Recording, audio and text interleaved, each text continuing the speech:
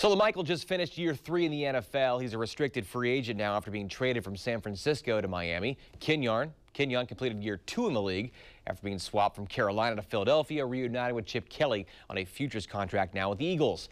But it's that gravitational pull back to Oregon that has both former Duck backfield mates choosing to spend a chunk of their offseason right here in the Beaver State.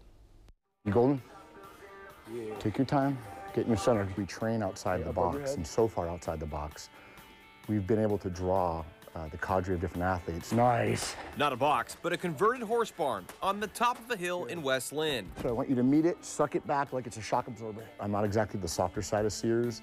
Uh, I do tie in um, the mind, the body, and the diet. Get me out here. That's where Dave Schelofsky makes his way, and pro athletes make their hay. Give me a stiff arm. Get me out of here. Get me out of here. You know, at first, you know, uh, I was sitting courtside at a Blazer game, and uh, I meet this one guy. He like introduced me to Dave. You know, he said Dave was a trainer. You know, so Dave was like persistent, like, "Hey, come train." You know, I'm so I'm leaving at nine. He's like, "Well, we can train at six. You know, I'm like, dang, he's intense. Let's go. Up. You'd expect intensity from the former California cop and MMA fighter who trained local UFC star Chael Sonnen.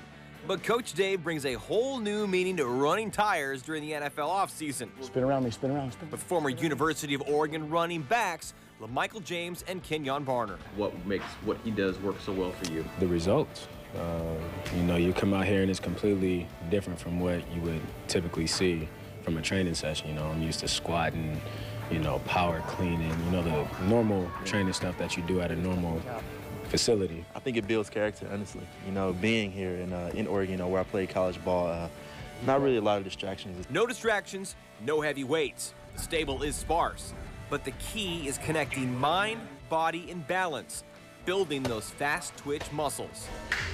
I vibe tremendously. I mean, I remember first coming in here and I was just like, man, I can't do none of this stuff. And uh, you know, it's still kind of that way, you know, but you got to keep fighting and keep pushing, you know, it's something that we're not used to. You know, you just don't want to continue doing one thing in life. I feel like I've been doing squats all day. Some things have changed in life. Barner and James both have baby boys with their girlfriends back here in Oregon. And it's the coaching by Dave that keeps them cradled and coming back to the state they starred while at the U of O. We definitely have a connection here. You know, we always like to come back. You know, I've always liked Portland, and uh, I really do enjoy being here. You know, the people are great, uh, food's great, you know, everything's great. So, you know, I just want to come back here, you know, and just keep working and keep training. I consider it to be home away from home. You know, California, where my family is, that'll always be home. But this has become my home over the past five, six years. You know, the time that I spent here is irreplaceable. Good. Nice power on that. Clean and sober for a decade, Schelofsky hosts free clinics for kids and is a strength and conditioning coach for the Lions football team, wrestling, lacrosse, baseball, even cheerleading. His son is a freshman at West Linn.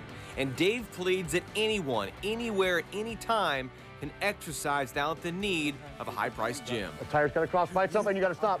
He's got to stop on his own. Got, it doesn't matter if you live in an inner city or if you live in Lake Oswego. It really doesn't matter. You don't need a gym membership to be in shape. You don't need a gym membership to eat correct.